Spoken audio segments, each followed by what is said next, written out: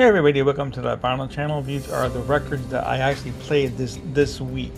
So the first one we have here is Saxon Power and the Glory. Uh, this is the fifth studio album by the English heavy metal band, released in 1983, and the band originally formed in 1974. Okay, next we have Meco, Swing Time's Greatest Hits. It was released in 1982 and it has covers of swing classics uh, done in a disco style. And next we have Peter Frampton, Wind of Change from 1972. This is his debut album. It's really good and also features a great cover of Jumping Jack Flash. Next we have John Jarrett's Tribe. This was originally released in 1984. It's a really great rock album.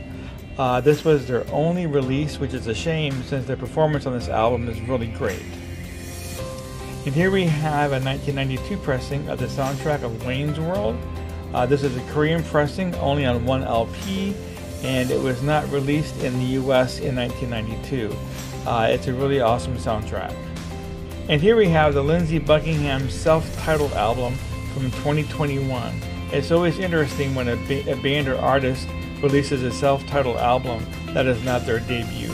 Uh, this is Lindsey Lindsey's seventh solo studio album, and it's really good. Next up is Chuck Armstrong's Shackin' Up.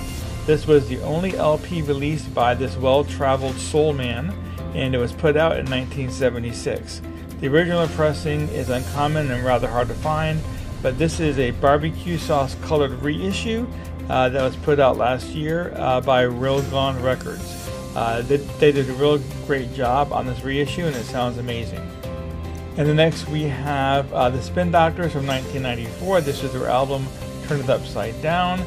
Uh, and this here is the original 1994 pressing, released on the Epic label on green vinyl.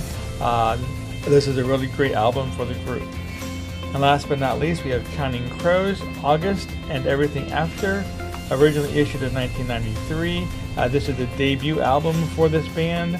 Uh, this here is a Walmart reissue on yellow vinyl.